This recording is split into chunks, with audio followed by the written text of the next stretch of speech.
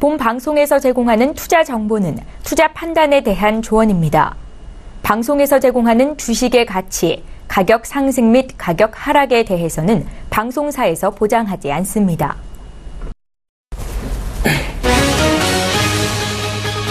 헤드라인 뉴스입니다. 미국 뉴욕 증시에서 주요 지수는 도널드 트럼프 대통령을 둘러싼 러시아 커넥션 의혹이 완화될 것이라는 전망 속에 소폭 상승했습니다. 뉴욕 증권거래소에서 다우존스 지수는 0.18% 상승한 21,173.69의 거래를 마쳤습니다. S&P 500 지수는 전일보다 0.16% 오른 2,433.14에 나스닥 지수는 0.36% 오른 6,297.38을 기록했습니다. 제임스 코미 전 연방수사국 국장은 상원 정보위 청문회를 앞두고 공개한 모두 발언문에서 트럼프 대통령이 자신에게 마이클 플린 전 국가안보보좌관에 대한 수사 중단을 요구했다고 밝혔습니다. 트럼프 대통령의 수사 중단 외압이 있었다는 그동안의 미 언론의 보도를 공식으로 확인해준 셈입니다. 미국의 원유 생산 증가가 부각되면서 국제유가가 5% 이상 폭락했습니다. 미 뉴욕 상업거래소에서 거래된 서부 텍사스산 원유 7월 인도분은 전날보다 5.1% 하락한 배럴당 45달러 72센트의 거래를 마쳤습니다. 미 에너지정보청은 주간 원유 재고가 330만 배럴 증가했다고 발표했습니다. 시장은 350만 배럴 감소를 예상했습니다. 유럽 주요국 증시가 소폭 하락세로 장을 마쳤습니다. 영국 총선과 유럽 중앙은행의 통화 정책이 코앞으로 다가오면서 투자자들이 관망세를 보였습니다. 독일 닥스 30 지수는 0.14% 내렸고 영국 FTSE 100 지수는 0.59% 하락했습니다. 프랑스 가크 40 지수 역시 0.10% 하락으로 거래를 마쳤습니다.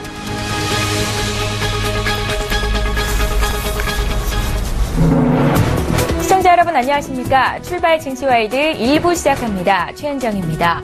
상승으로 출발한 미국 뉴욕 증시에서 3대 지수가 모두 소폭 오름세로 거래를 마쳤습니다. 어, 장중에 공개된 코미전 FBI 국장의 청문회 모두 발언문이 공개가 됐었는데요. 시장의 예상에서 크게 벗어나지 않았다라는 분석에 어, 지수가 올랐다라고 평가되고 있는데요.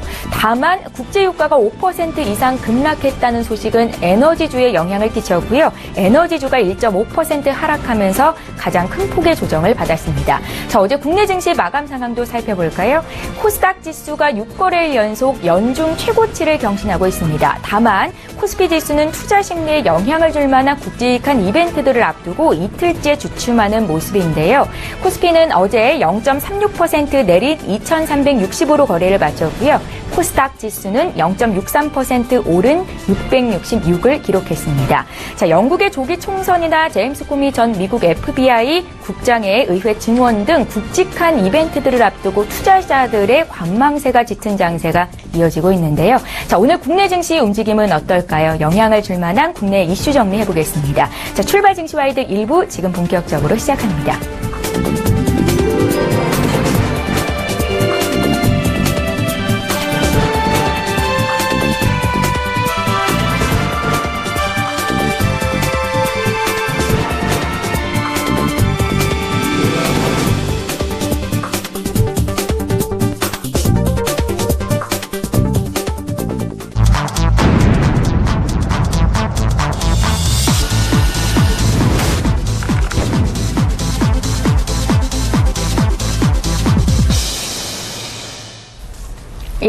이호룡의 돌직구 시간입니다. 글로벌 주요 인물들의 발언을 통해서 또 글로벌 시장 경제 흐름을 간파해 보는 시간이고요. 오늘 이 시간 고든 자산 관리의 이호룡 대표 모시고 이야기 듣겠습니다. 대표님 안녕하세요. 안녕하세요.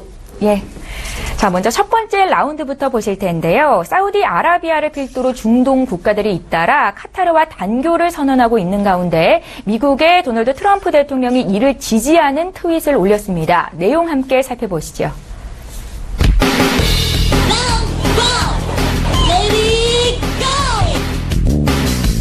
도널드 트럼프 미 대통령이 트위터를 통해 중동 지도자들은 극단주의에 대한 강한 조치를 취하겠다고 했다. 모든 언급은 카타르를 지목하고 있었다라고 말했습니다. 예, 중동의 정세 변화 차원에서 사우디와 순위파 국가들이 카타르와 단교를 선언했고 또 여기에 트럼프가 이를 지지하는 듯한 발언을 했는데요. 이유가 어디에 있을까요? 먼저 여쭤볼게요. 어, 글쎄 뭐 역사적으로 얘기하자면 너무 길고요. 예. 뭐 일단은 트럼프가 최근의 행보를 기준으로 제가 말씀을 드리면 네. 트럼프가 지난번에 중동 순방 때 제일 먼저 방문했던 때가 하던 곳이 이제 사우디입니다. 사우디를 첫 번째로 방문한 이유는 역시 트럼프는 장사꾼 아니겠습니까? 예, 그런 면에서 봤을 때 사우디가 이번에 1,100억 달러 정도의 무기 그 수입을 하겠다라는 부분들을 발표했기 때문에 어, 사우디가 상당히 중요한 고객이었죠. 그리고 이 부분은 그존 맥케인 같은 군산복합체의 어떤 그런 그 관련된 있는 삼- 사람들한테는 어느 정도 위로를 해줄 수 있기 때문에 트럼프 입장에서 지금 그 미국 내 정치적 입지가 상당히 좁지 않습니까? 뭐 나중에 제가 이 부분도 얘기- 말씀을 드리겠지만 네. 그런 면에서 좀 어, 달랠 수 있는 어떤 효과가 있었기 때문에 사우디가 상당히 중요했다라고 볼 수 있고요. 어, 2008, 2018년도 해계 2018 해계년도 트럼프 예산안이 저번 달 이슈, 이슈였지 않습니까? 여기에서 보면은 전략 비축률을 50%를 감축하고 여기다가 알래스카 유전 개발도 저 다시 그 재개해서 이 부분을 지금 팔겠다는 거거든요. 개발권을. 그래서 이런 부분들이 결국은 유가에 상당한 영향을 미치게 된다면 사우디와의 어떤 관계에서도 상당히 나빠질 거 아닙니까? 그러니까 이런 부분에서 봤을 때 어, 트럼프는 어떠한 발언들을 함으로써 사우디를 달래는 뭐 이런 상황이 됐어야 되는데 그 좋은 명분이 어 카타르가 아니었나라는 생각이 들고요. 예. 지금 현재 그때 나왔던 그 트럼프 예산안과 관련된 얘기도 첫 번째로 어 어떻게 하면 그 사우디와 그 중동의 그 순위파들을 달랠 수 있느냐 이런 부분을 봤을 때 달러 약세를 유도해야 된다라는 게 전문가들이 의견이 있거든요. 첫 번째로 그렇기 때문에 지금 달러가 96.7까지 내려오는 달러 인덱스가 이런 상황이 됐고요. 두 번째로 지금 그 이스라엘 그 방문 기간에 이란을 상당히 비난하는 그 발언들을 많이 했습니다. 그러니까 이유는 뭐냐면 이란이 상당히 많은 양을 생산하기 시작하지 않았습니까? 그런 부분에서 좀 견제하는 부분이 있었고요. 어, 사우디에도 사우디와 이란의 관계가 그렇게 좋지 않기 때문에 어, 사우디를 위해서 조금 더 어, 그런 강한 발언을 한 게 아니냐라는 부분 그런 이런 부분도 있었고요. 그리고 지금 제임스 코미 같은 경우에 증언이 핵심 이슈 아닙니까? 예. 그러니까 이런 부분들과 관련해서도 어, 미국 내에서도 좀 문제가 있기 때문에 어, 이런 부분들을 좀 어, 달래기 위해 그러니까 관심을 밖으로 두기 위해 하- 했던 부분이 아니냐라는 생각이 듭니다. 그러니까 세 번째로 제가 말씀드리고 싶은 건 뭐냐면 카타르에 대한 얘기인데요. 카타르가 지금 LNG의 그 최대 생산국 중에 하나입니다. 그 걸프만 있지 않습니까? 그러니까 그 걸프만에서 이란하고 같이 그 파이프라인을 같이 공유하고 있거든요. 그렇기 때문에 지하에 공동 유전을 개발하고 있기 때문에 이란과의 관계를 좋게 해야 됩니다. 근데 이란은 시아파고 카타르는 순위파거든요. 그리고 카타르와 사우디는 가장 친한 동맹입니다. 근데 이런데도 불구하고 카- 사우디가 카타르를 공격하고 있다는 부분은 좀 아이러니하지만 예. 결국은 모든 초점은 이란을 공격하기 위한 그러니까 이란이 어떤 희생양에 대한 부분에서 명분을 만들어가는 과정이 아니냐라는 부분들이 가장 좀그 현재 나오고 있는 표면적으로 가장 중요한 이유가 될 것 같고요. 지금 그 제일 중요한 부분이 이 카타르가 카타르가 지금 현재까지 왜 이렇게 친했던 미국과 사우디 그리고 여러 순위파 국가들에 대해 국가들이 단교를 하고 있느냐 이 부분은 어 카타르의 어떤 욕심 아니면 목표거든요. 그러니까 이게 뭐냐면 시리아 내전의 어떤 직접적인 요인 중에 하나가 IS 아닙니까? 근데 IS를 누가 키웠냐면 미국과 유럽 그리고 순위파 국가들이 사우디도 상당히 많은 자금을 댑니다. 그러니까 그러면서 키웠는데 카타르가 최근까지 IS를 지원했거든요. 근데 나머지는 지원하지 않았어요, 이제는. 왜냐면, 어, 시아파 알라스트 정권보다 IS가 더 골머리를 아프게 했죠. 왜냐면 유럽 테러나 미국 테러는 다 지금 IS가 하고 있, 다고 자랑하고 있으니까요. 근데, 어, 카타르 같은 경우에는, 어, 시- 그 시리아가 상당히 지정학적인 위치로서 굉장히, 굉장히 중요한 위치입니다. 왜냐하면 어, 사우디와 카타르 지도를 한번 제가 놓고 보여드릴 필요가 있는데 카타르에서 사우디를 통해서 시리아, 그 다음에 터키, 그 다음 유럽으로 가거든요. 그러니까 이 파이프라인만 건설하면 크게 돌아서 해- LNG선을 가지고 돌아갈 필요가 없습니다. 예. 그러니까 해외 비용을 상당히 줄일 수 있다는 거죠. 지금 나오고 있는 그 파란색 라인을 보시면 알겠지만 이 파란색 라인이 카타르가 원했던 그 파이프라인인데 시리아가 2009년도에 제안했을 때 거절합니다. 그 대신에 지금 빨간색 라인인 이란에서 이어지는 이란에서 이라크, 시리아로 이어져서 이제 저 지중해 쪽으로 빠져나가는 이 부분은 또 통과를 시킵니다. 이유는 뭐냐면 시리아는 시리아 알라스드 정권은 러시아하고 그 동맹입니다. 그리고 이란도 러시아랑 동맹이거든요. 근데 이란과 이라크는 시리아 그 시아파입니다. 그리고 시리아 알 아사드 정권도 시아파거든요. 그러니까 시아파끼리 이제 같이 해보겠다라는 생각으로 이렇게 하다 보니까 카타르 입장에서는 알 아사드 정권을 무너뜨려야만이 자국의 이익을 극대화할 수 있는 거죠. 그러니까 배를 끌고 아주 먼 시간을 돌아서 가장 큰 비용을 들이면서 LNG를 수출할 게 아니라 저런 파이프라인을 깔아 버리면 유럽 입장에서도 좋은 게 유럽은 러시아의 에너지 의존도가 상당히 높지 않습니까? 특히 독일 같은 경우에는 어 이란을 통해 이란 저 위쪽을 통해서 우크라이나 쪽을 통해서 들어오는 파이프라인을 연결해서 쓰고 있거든요. 그러니까 러시아가 언제든지 가스 밸브를 잠가 버리면 상당히 위험해진다. 그렇기 때문에 카타르를 통한 파이프라인이 원해, 원했던 부분이거든요. 근데 이번에 최근에 그 지난해 보면은 사우디 국왕이 어떻게 됩니까? 바뀌지 않습니까? 그 바뀌고 나서 나온 프로젝트가 2030 프로젝트인데요. 이게 뭐냐면 탈석유 그, 그 산업이 지금 이제는 사우디에 있어야 된다. 그러니까 결국은 석유 산업, 석유 의존 산업을 이제는 없애야 된다라는 쪽으로 앞으로 좀 목표를 잡아가야 된다라는 얘기를 하고, 하고 있는데 이 부분은 결국은 뭐냐면 사우디가 석유 산업에서 빠져나가는 순간 IS의 자금을 지원할 필요가 없죠. 시리아 알라스드랑 싸울 필요가 없는 거죠. 그러니까 그 이전에 자, 내년에 알 아람코 상장 아, 아람코 상장 있지 않습니까? 그러면 사우디가 아람코를 상장해 하겠다는 얘기는 이거를 팔아버리겠다는 얘기거든요. 공기업 그러니까 가장 사우디에서 영향력 있는 공기업을 팔아버리는 겁니다. 이때 자금 조달을 위해서는 어, 유가가 상승해야겠죠. 유가가 상승하면 IPO 때 제값을 받을 수 있는 거죠. 그렇기 때문에 어, 트럼프와 어떤 이런 부분에서 좀 맞았던 것 같습니다. 결국은 뭐냐면 어, 이란을 때려서 파- 고- 공급 라인을 훼손하든가 카타르를 압박해서 어떤 이런 그 불안, 중동 불안을 높여야만이 유가가 상승하겠죠. 근데 이 유가 상승을 위해서 했던 이 행동들이 결국 어떻게 됐습니까? 지금 상황에서는 45달러까지 떨어뜨리는 이런 상황이 된 거죠. 이유는 뭐냐면 오히려 카타르도 상당한 양의 어떤 생산량을 하고 있고 이란도 이런 부분에 상당히 불만을 갖고 있거든요. 그렇게 된다면 오펙의 그 감산 협의가 잘 안 되겠죠. 그러니까 이런 부분들이 지금 현재 상황에서는 어, 사우디 그다음에 그 순위파 국가들 미국 유럽하고 그 러시아하고 그다음에 이란 카타르 뭐그 시 리아 이 정도의 어떤 나라들이 대립하는 형세 뭐 이게 상당히 단순화했지만 이보다 더 복잡하거든요. 그러니까 이런 상황이기 때문에 지금 현재 문제가 상당히 심각해지는 거고 트럼프는 오히려 말을 이렇게 강하게 할 때는요 어 벼랑 끝 전술처럼 생각하고 있지만 오히려 나중에는 달래는 상황이 되거든요. 오늘 오늘 같은 경우에 카타르를 또 달래는 전화를 하지 않았습니까? 카타르에다가 그렇기 때문에 트럼프는 절대 어떤 무력 도발이나 이런 압력이 크게 어떤 발생하는 이런 일들을 원하지 않습니다. 그렇기 때문에 제가 개인적으로 생각하기에는 어, 이 지금 현재 중동 사태는 그렇게 지금 트럼프가 트럼프 입장에서 봤을 때 크게 확대되진 않을 것이다. 그리고 어, 이런 어떤 이런 논란을 일으키지만 이 논란으로 끝나고 다시 어, 쿠웨이트가 지금 현재 중재에 나섰지 않습니까? 그래서 이 중재되는 방향으로 갈 수 있다라는 쪽에 좀 무게를 두는 게 낫지 않을까라는 생각이 듭니다. 네, 트럼프가 지금 궁지에 몰린 상황인데 미국 내 반응이 어떤지도 궁금하고요. 또 전 FBI 국장의 의회 증언도 지금 남아 있는 상황인데요. 여기에 대한 의견도 여쭤볼게요. 그러니까 결국은 어, 지금 민주당 쪽에서는 트럼프가 탄핵이 되길 원하잖아요.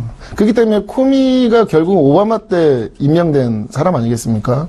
그래서 코미의 어떤 발언들이 상당한 이슈가 됐고, 어, 민주당 입장에서는 아직은 아니지만 결국 탄핵을 시켜야 되는 어떤 그런 상황에 지금 있다라고 봤을 때, 그럼 트럼프가 앞에서 말은, 말씀드린 대로 카타르를 상당히 위협적인 발언으로 공격한 이유는, 어, 이런 내부적인 어떤 코미의 발언을 어, 좀 중화시키기 위한 노력이랄까요? 그러니까 쉽게 말씀드리면 카타르나 이 사우디도 그렇지만 사우디가 오바마 때 상당히 섭섭했거든요. 그 오바마가 상당히 중동 얘기를 잘못하는 바람에 사우디가 상당한 친한 동맹임에도 불구하고 상당한 피해를 많이 봤죠. 그뭐 쉐일 그 관련돼서도 30달러를 깨고 내려가는 이런 상황까지 되면서 사우디는 상당히 경제적 타격도 받았고요. 그런데 문제는 뭐냐면 어, 카타르 같은 경우에는 민주당 돈줄이에요.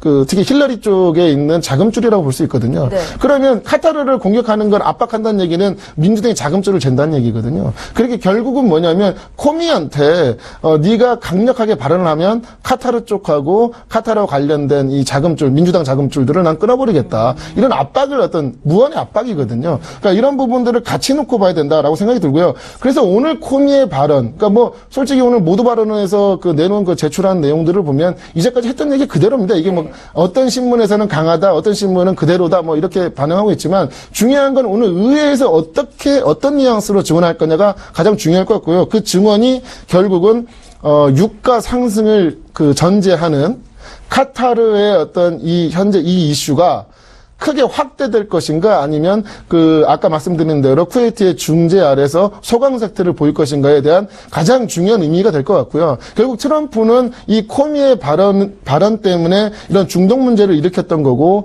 그 중동 문제를 일으킨 이 부분에 대해서는 이제 코미의 입에 달렸다라고 보시면 될 것 같습니다. 또 하나의 중요한 문제가 앞으로 국제 유가의 흐름일 것 같은데요. 오늘 5%나 급락을 했거든요. 근데 지금 배럴당 45달러, 그러니까 WTI 기준으로 이 45달러 선이 어, 비교적 낮은 가격대다라는 의견도 많은데 앞으로의 흐름 어떻겠습니까? 제가 지난달에도 한번 나와서 말씀드렸었던 것 같아요.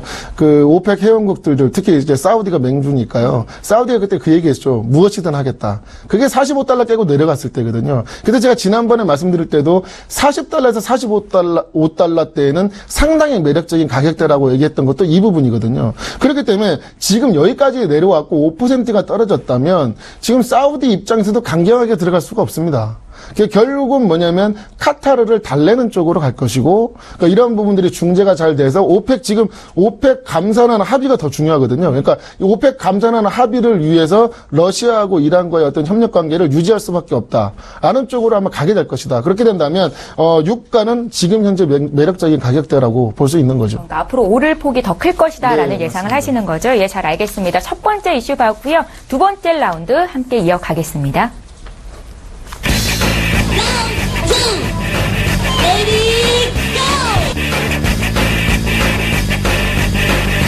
메이 영국 총리가 테러 용의자의 자유와 움직임을 더 제약해야 한다. 이권법이 방해가 된다면 우리는 법을 바꿀 것이다. 라고 말했습니다. 예, 영국의 EU 탈퇴 방식의 향방을 가를 조기 총선이 오늘 열립니다. 자, 이번 총선에서 현 테리사 메이 정부의 부실 안보가 막판 최대 쟁점으로 떠오르고 있다라고 하는데요. 흐름 어떨까요, 대표님? 글쎄요, 뭐 4월 달에 한번 그때 생각을 해보시면 예. 테레사 메이 총리가 갑자기 조기 총선 카드를 꺼냈지 않습니까? 그때 봤을 때는 거의 20% 넘는 차이였거든요, 노동당하고. 그렇죠. 예. 그렇기 때문에 과반 이석은 충분하고 그 이상의 어떤 의석을 차지할 수 있기 때문에 아, 마가렛 대처 이후에 가장 강력한 지도자가 될 것이다라고 얘기했었는데 최근에 보면은 지금 어, 6월 5일인가요? 그 여론조사 지지율 보니까요. 노동당이 39%, 그 보수당이 40%, 1% 차이였고요. 뭐 크게 차이 나도 12% 이내였거든요. 예. 그러니까 이런 부분들을 좀 같이 놓고 봤을 때 어, 지금 현재 영국 언론 여론은 그렇게 노동, 보수당이 좋은 모습이 아니다라는 부분을 다시 한번 볼 수 있고요. 어, 이번에 그래서 테러 요, 즘 유럽 선거에서 테러가 상당히 유행이 됐습니다. 선거 전에는 항상 테러가 일어나거든요. 뭐 우리나라 뭐 항상 선거 때 되면은 왜 그 북풍이 있지 않습니까? 그렇듯이 이제 유행이 됐는데 이런 통- 테러 범죄에 대해서 테레사 메이가 상당히 강력하게 발언을 했죠. 어, 이런 발언들이 결국은 뭐 테러 범죄에 대한 어떤 형량을 더 길, 길게 가져가야 된다라는부터 시작해서 테러 용의자한테는 좀 인권에 관련된 부분에 좀 민감하지만 외국인들 더 쉽게 추방할 수 있게 만들어야 된다 이런 부분들이 상당히 강력한 발언들입니다. 이게 진짜 법 인권적 인권 법적인 부분에서는 상당히 위배되는 이런 얘기인데 서슴없이 했거든요. 근데 문제는 뭐냐면 이렇게 강하게 얘기했음에도 불구하고 이탈리아에서 영국한테 이번에 그 테러할 때 세 명 중에 한 명이 그 이탈리아인 그 유세프 자그바라는 사람인데요. 잠재적 테러리스트라고 뭐 넘겨줬습니다. 근데 이쪽에서는 보수당 이 정부에서는 이걸 좀 무시했죠. 이 사람이 테러를 했거든요. 그러면서 이제 제레미 코빈 노동당 대표 입장에서는 할 말이 많아진 거죠. 예, 그러면서 한 얘기가 뭐냐면 아 그렇게 강력하게 얘기할 거면 왜 그 경찰 예산을 삭감했느냐. 이 얘기를 하면서 오히려 지금 여론은 제레미 코빈 쪽으로 좀 기울은 듯한데 문제는 뭐냐면 제레미 코빈도 그 상당히 그 좌파적인 성향이거든요. 근데 영국은 지금 현재 약간 보수적이거든요. 그러니까 이런 부분에 봤을 때 이 테러가 직접적으로 어디에 영향을 끼칠지는 잘 모르겠지만 어쨌든 간에 뭐 보수당보다는 지금 그 제레미 코빈이 있는 노동당이 좀 유리해 보이는 그 경향이 있다라는 게 해석입니다. 근데 제 개인적으로 봤을 땐 이게 큰 문제가 될 것 같지는 않다. 하지만 보수당이 이전처럼 압도적인 어떤 승리는 힘들 것 같고 어, 일반적으로 봤을 때 그냥 어, 보수당이 좀 무난하게 이기는 뭐 이런 쪽의 예상을 좀 해볼 필요가 있지 않나라는 생각이 들고요. 네. 이게 지금 문제는 어, 영국이 이 문제 이 조기 총선에서 어디가 이기느냐 문제가 아닙니다. 둘 다 성향 둘다 그 브렉시트와 관련된 정책은 비슷합니다. 이유가 지금 걱정하는 게 뭐냐면 그러니까 아마 이게 시장에 상당히 영향이 미칠 텐데요.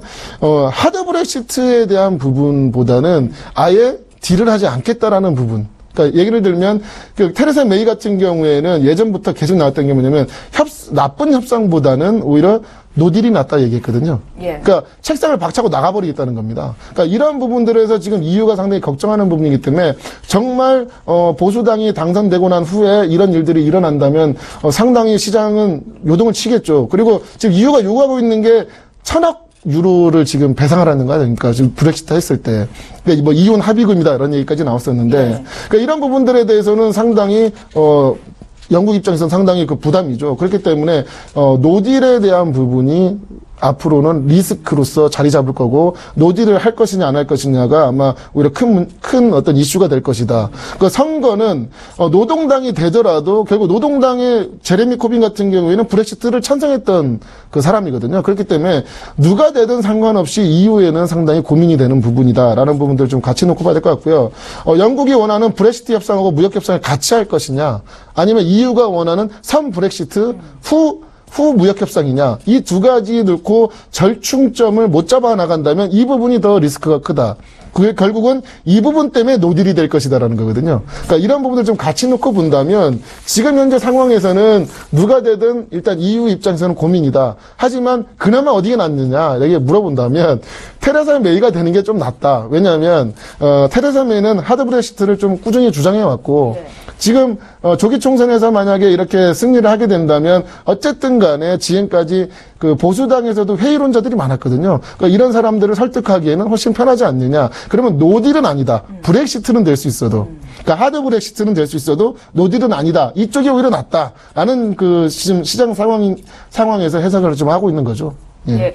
슈퍼 목요일이라고 하죠. 영국의 조기 총선뿐만이 아니라 ECB 통화정책 회의도 예정이 돼 있는데요. 앞으로의 시장 흐름은 어떨지 간략하게 좀 여쭤볼게요. 일단은 뭐 파운드가 지금 현재 강세를 가고 있지 않습니까? 결국은 뭐 영국 증시 안 좋다는 얘기거든요. 그러면서 뭐 오늘 같은 경우는 뭐 어, 슈퍼 목요일 때문에 거의 대부분 뭐 분위기가 안 좋았지 않습니까? 어, 문제는 지금 저는 제가 봤을 때 지금 달러 엔을 지금 다시 약세로 가고 있다는 부분은 상당히 긍정적이고요.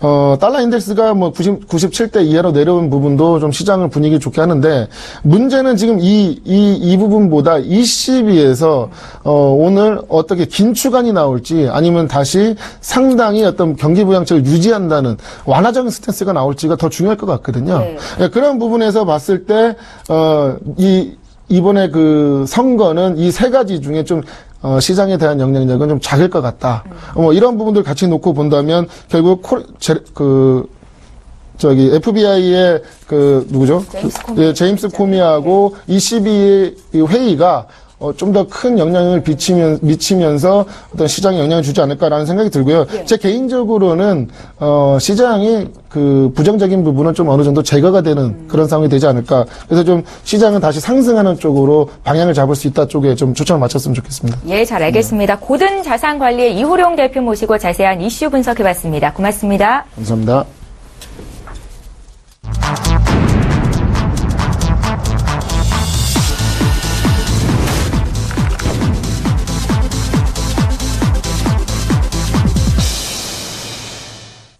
예, 자 이번에는 국내 이슈 구체적으로 분석을 해볼 거고요. SK증권 영업부 PIB 센터의 이재강 이사님 화상으로 만나보겠습니다. 이사님 안녕하세요.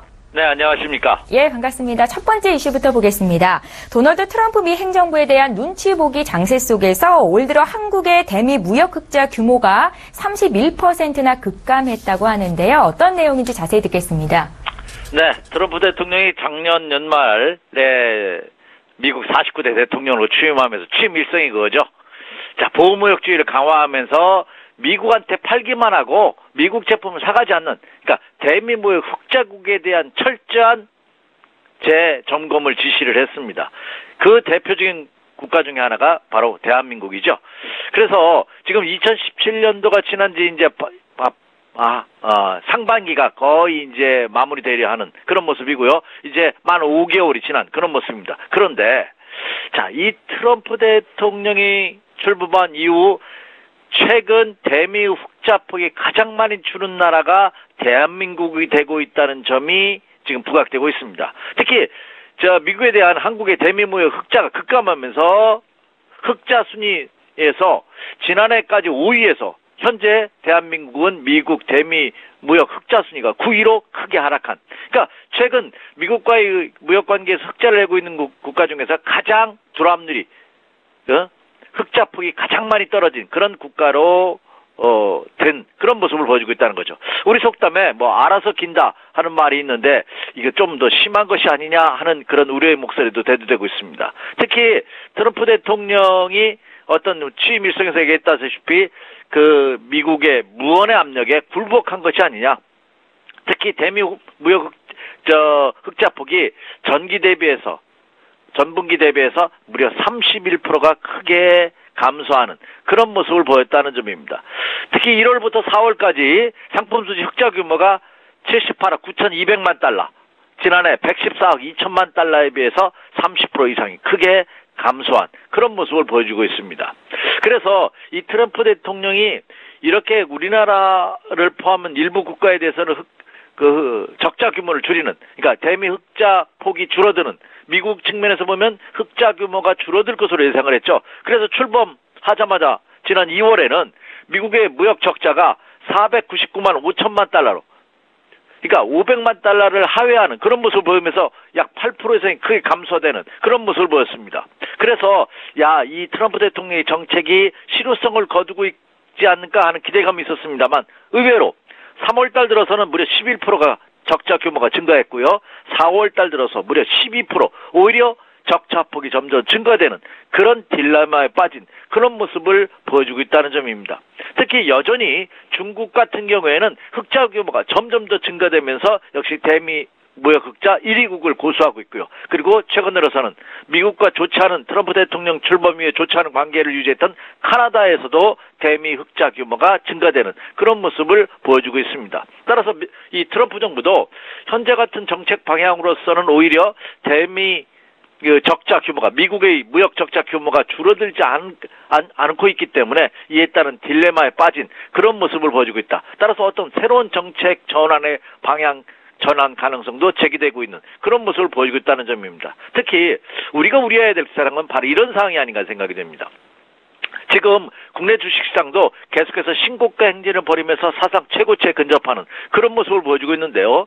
그 주도가 역시 반도체를 포함한 핵심 우량주들이 국내 시장을 이끌고 있기 때문이죠. 근데 이 대미 무역 흑자 폭이 감소함에 따라 이들 대기업, 수출 기업들에도 악영향을 끼치지 않을까 하는 우려감이 대두되고 있는 것이 사실입니다. 따라서 이 대미 무역 신규 사업 진출이라든지 새로운 품종, 새로운 아이템 개발 등 이런 향후 전략에 따라서 국내 시장도 영향을 받을 성이 받을 가능성이 크다 이렇게 말씀을 드립니다.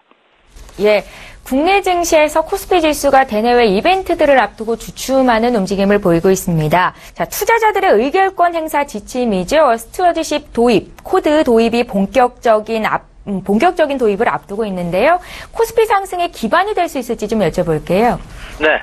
자, 국내 시장에서 올 상반기는 아직 끝나지 않았습니다. 이제 6월이 이제 초반이 지나가고 있는데요.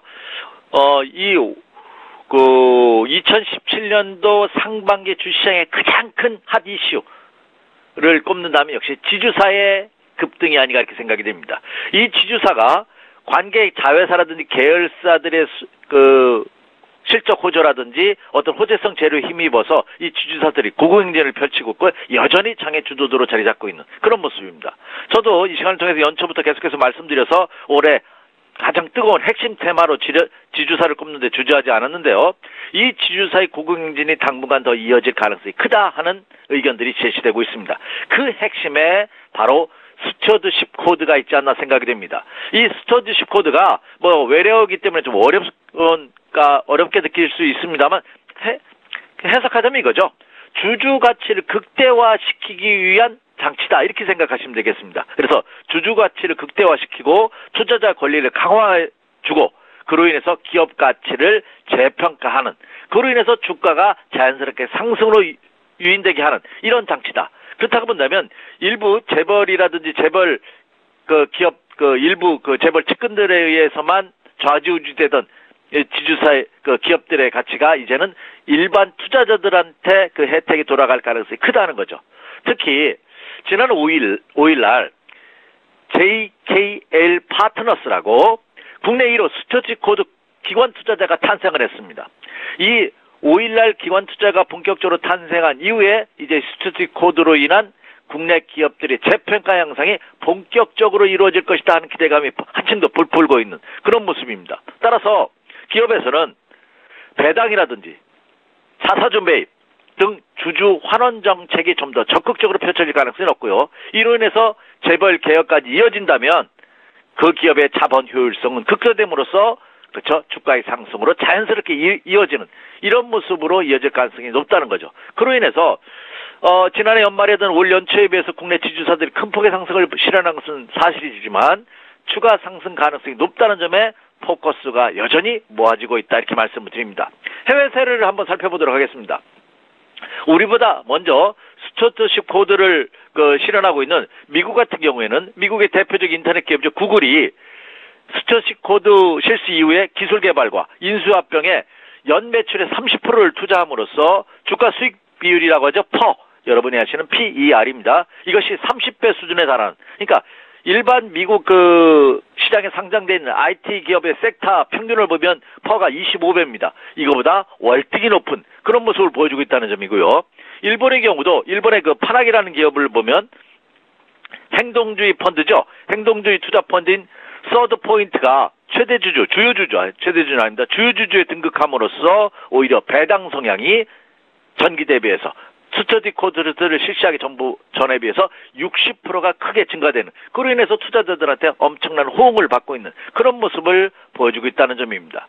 지금 외국인 투자자들 입장에서 보면 대한민국에 투자를 함에 있어서 두 가지 난제가 있었죠. 하나는 지구촌 유일한 분단 국가라는 전쟁이 일어날 가능성이 지구촌에서 가장 높은 country risk가 첫 번째고요. 두 번째가 주주들한테 배당이라든지 주주 친화 정책이 너무 미비하다 하는 것이 외국인 투자가들의 두 개의 걸림돌이었는데 그 한 축이 크게 해소될 가능성이 높기 때문에 외국인 투자가들이 최근 국내 시장에 적극적으로 참여하는 이유도 바로 여기 있지 않나 생각이 됩니다. 따라서 이 지주사를 포함한 국내 기업들한테는 굉장히 긍정적으로 내비쳐질 가능성이 굉장히 높다. 이렇게 말씀을 드릴 수가 있겠고요. 추가적으로 본다면 역시 말씀드렸다시피 어, 자사주 취득이라든지 그로 인한 기업의 가치 상승 이것은 자연스럽게 기업의 주가 상승으로 이어지는 그런 연결 순환고리가 더 강화될 가능성이 높다. 이렇게 말씀드릴 수 있게, 있겠습니다. 따라서 이 스튜어트 코스는 국내 지주사를 포함한 기업들의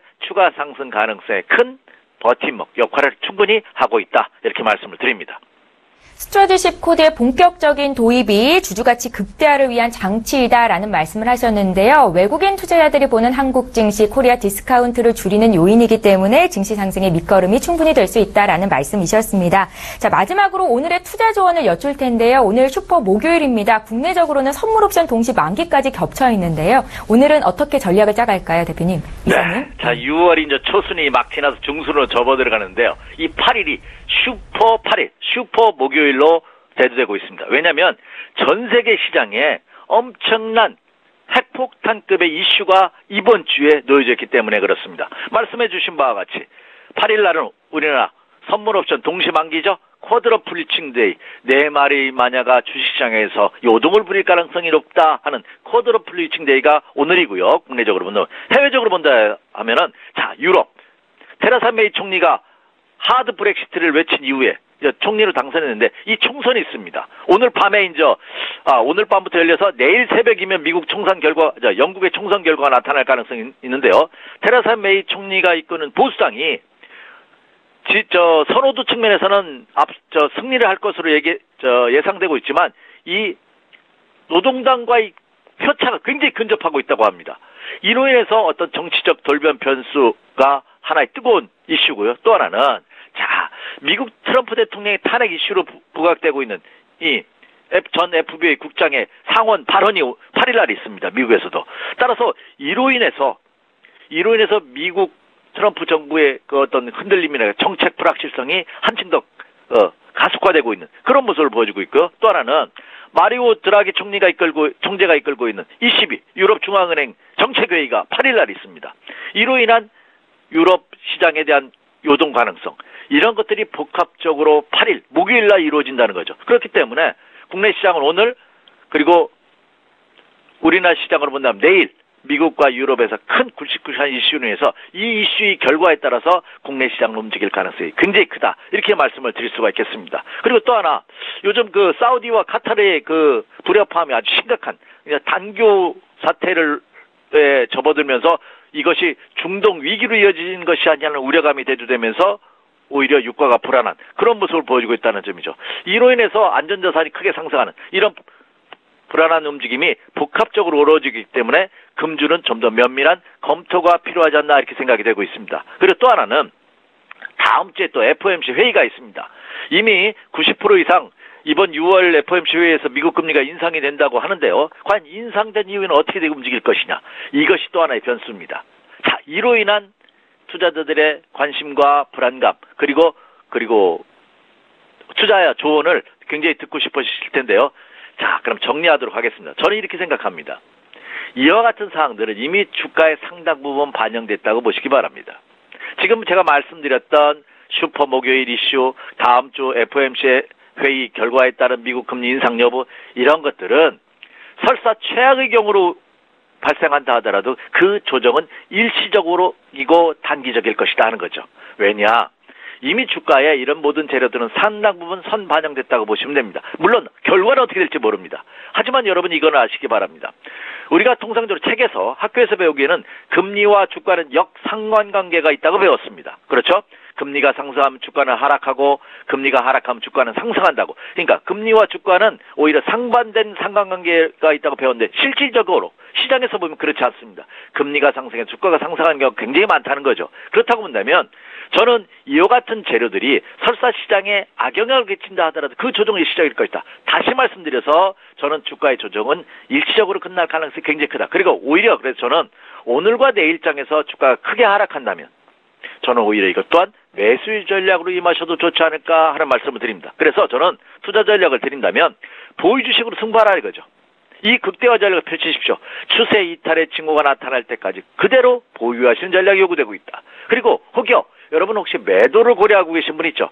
이 종목이 추세가 이탈한다든지 이탈 조짐이 보일 때는 매도한 이후에는 다른 종목으로 교체 매매를 해서 여러분의 계좌에는 주식 편입 비중을 월등하게 유지하는. 그러니까 저는 이미 말씀드렸다시피 90% 이상 주식을 가지고 있다는 말씀드렸는데 그 전략은 변함이 없다 이렇게 말씀을 드립니다. 다만 앞서서 언급해드린 바와 같이 6월은 순환매 장세가 펼쳐질 가능성이 없다.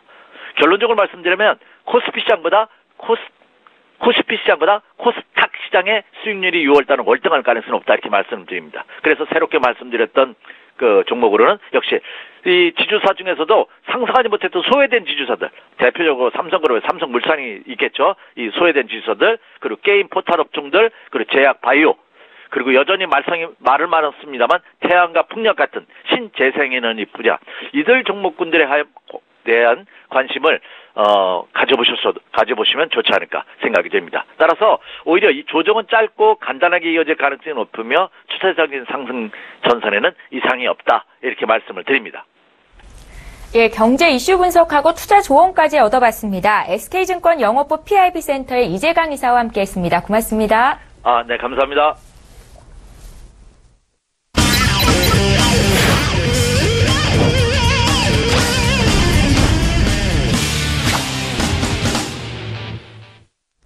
예, 시황 분석하고 필살 종목까지 공개를 해드리고 있습니다. 외환영웅의 투자 필살기 시간이고요. 오늘도 역시 S히어로 인베스트먼트의 신동환 대표 만나보죠. 대표님 안녕하세요. 예, 안녕하십니까. 예, 반갑습니다. 자, 오늘도 시황 분석 듣기에 앞서서 지난 외환영웅의 추천주 수익률 점검하고 가는 시간 갖겠습니다. 예, 외환영웅의 지난 추천주에 대한 의견과 수익률 현황이 나가고 있습니다. 어, 4월 18일에 주셨던 메리츠 화재 의견은 수익 실현이시고요. 수익은 15%가 났네요. 4월 19일에 추천주 동아지질은 역시 수익 실현하셨고요. 16%의 수익을 냈습니다. 그 밖의 종목들도 모두 지금 수익권 내 있고요. 1차 목표가 달성 이후 보유 관점으로 말씀을 하고 계십니다. 다음 종목들 살펴보죠. 5월 17일에 주셨던 GS가 1차 목표가 달성 이후 보유 관점으로 말씀을 하고 계신데요. 여전히 15% 수익을 기록 중에 있고요. 그 밖에 5월 31일에 주셨던 영진약품도 5%의 수익을 어제 종가 기준으로 내고 있습니다. 다음 종목들도 함께 살펴보죠.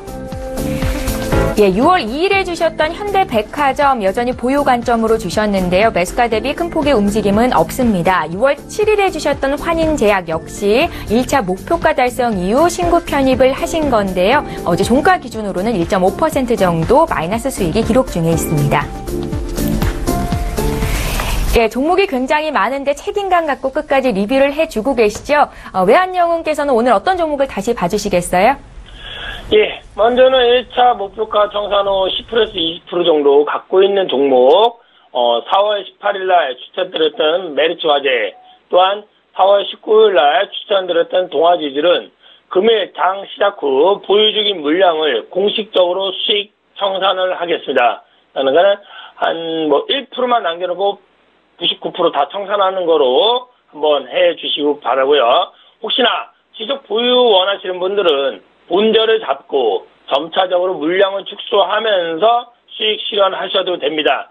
어, 어쨌든 그 신규 편입하는 종목들도 어, 그렇게 나쁜 종목들이 없으니까는 그 현금 갖고 있는 분들은 거기에 맞춰서 진입해 주시기 바랍니다. 또한 어제 추천드렸던 환인제약 종목코드 016580 이 종목은 장중에 목표가를 도달하였습니다.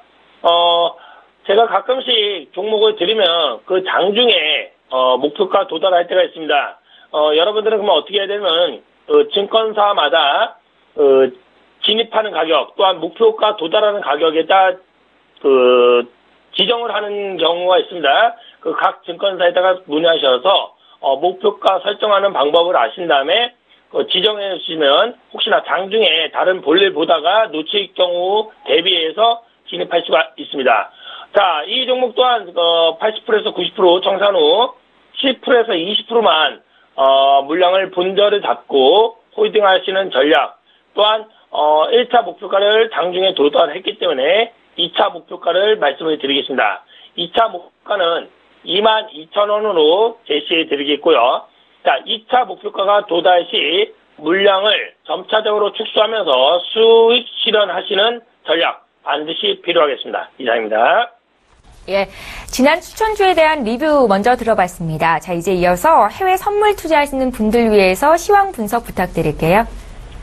자, 어, 제 먼저 어, 전체적으로 어, 얘기하면서 좀 하겠습니다. 항생지수 먼저. 항생지수는 오늘은 횡보 좀 하방으로 좀 보고요. 자, 지수는 25,774 저항시 하방으로 좀 보겠고요. 혹시나 25,774가 돌파했을 때 25,797 부근에서 어, 매도 전략을 봐주시되 추세는 항생도 상방으로 좀 보시면 될 것 같습니다.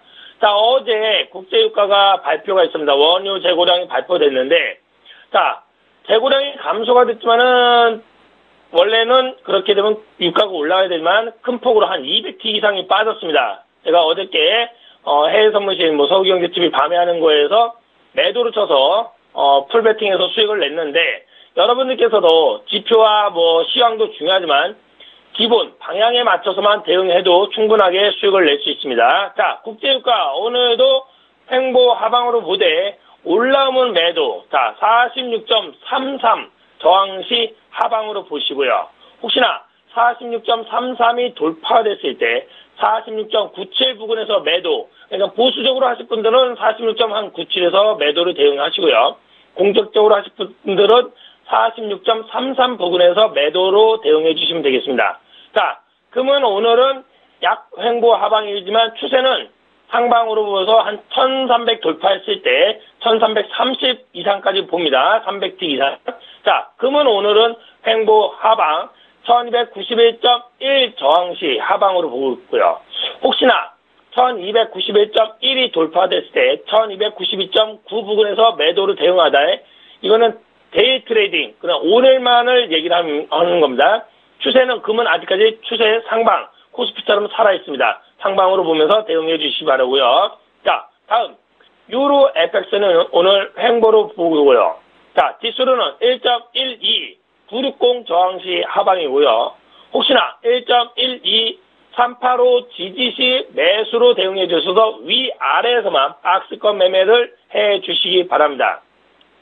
오늘 근데 이제 중요한 발표가 있으니까는 발표 전까지만 해주시고요. 발표 이후에는 관망하는 전략 또는 전문가들을 의지하면서 좀 대응 또는 지수에 맞춰서만 대응해 주시기 바라고요. 자 마지막으로 S&P 500은요 오늘 횡보로 보시고요. 자 지수로는 2,434.25 저항시 하방이고요. 자 반대로 2,427.75 부근에 왔을 때는 지지로 보고 매수로 대응하는 전략 반드시 필요하겠고요. 오늘 중요한 발표가 있으니까는 해외 선물 하시는 분들 또한 해외 선물 안 하더라도 보시는 분들은 중요하게 직접 보시기 바랍니다. 이상입니다. 예, 해외 선물 투자하시는 분들 위해서 구체적인 시황 분석을 도와드렸습니다. 자, 국내 주식 투자하시는 분들도 많으신데요. 또 이 방송 보고 계시고 그분들을 위해서 코스피 시황 점검해 주시고요. 또 오늘 필살 종목 공개 부탁드립니다. 예, 오늘 코스피는 횡보로 보고요. 제가 말씀드렸죠. 한방 한순간에 올라가지 않기 때문에 올라간 다음에 또 눌림 현상입니다. 지금 며칠 동안 눌림이라고 분명 말씀드렸습니다. 현금 갖고 있는 분들은 혹시나 주식만 하신 분들은 눌릴 때마다 저점 매수해서 갖고 가는 전략 그렇게 반드시 필요하겠고요. 자 오늘은 코스피 횡보로 좀 봐주시고요. 자 지수로는 2378.32 저항시 하방으로 보겠고요. 혹시나 2344.16까지 내려왔을 때는 어, 지지로 보면서 상방입니다. 그때는 현금 갖고 있는 분들은 그 지수에 맞춰서 개별 종목을 매수해, 매수하는 전략 반드시 필요하겠습니다. 자, 국내 선물 옵션 하시는 분들은요, 오늘 이 종목도 횡보로 보시고요. 자, 지수로는 307.30 저항시 하방으로 보고요. 혹시나 303.9까지 빠졌을 때는 거기서 지지로 보면서 매수 전략으로 봐주시기 바랍니다. 이 지수에 맞춰서 대표, 대표 필살 종목. 자, 오늘은 후성입니다. 후성. 종목 코드 093370. 이 종목은요, 어, 냉매가스와 전해질 사업을 주력 사업으로 이용하고 있습니다. 자, 최근 52주 신고가를 계속하였으며, 최근 이익 성장세가 지속되고 있습니다. 높은 성장률의 전기차 시장을 감안할 때 매출 증가와 지속적으로 전망이 성장 가능성이 높은 종목입니다. 항상 말씀드리죠. 52주고 종목 어, 너무 비싸서 못 사. 그게 아닙니다. 그를 사신 분들은 계속할 수가 있습니다. 반드시 어, 저점 매수해 주시고요. 오늘은 매수가 현재가로 제시해 드리겠고요. 목표가는 11,000원입니다. 손절가는 8,000원으로 제시하고요. 항상 얘기하는 거는 손실이 날 수도 있습니다. 손절이 나갈 수도 있습니다. 그거는 매매 시장에 여러분들이 있기 때문에 당연한 겁니다. 손절은 100% 청산해 주시고요. 목표가가 도달하는 거는 100% 청산하지 말고 80%에서 90%만 청산하고 끝까지 난 전략. 그런다면 여러분들의 계좌가 누적으로 수익 날 것으로 확실합니다. 여러분들 자신하게 하시고 할 수 있다는 생각으로 해주시기 바랍니다. 감사합니다. 예, 외환 영웅은 출발 증시와이드 일부 마지막 시간에 늘 함께 하실 수 있습니다. SE어로 인베스트먼트의 신동환 대표님 의견 들었습니다. 고맙습니다. 예, 감사합니다.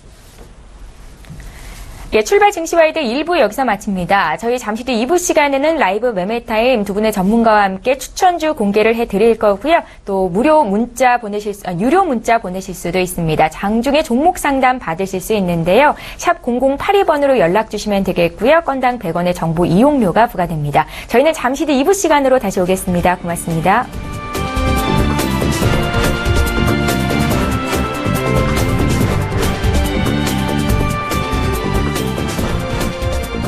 본 방송에서 제공하는 투자 정보는 투자 판단에 대한 조언입니다. 방송에서 제공하는 주식의 가치, 가격 상승 및 가격 하락에 대해서는 방송사에서 보장하지 않습니다.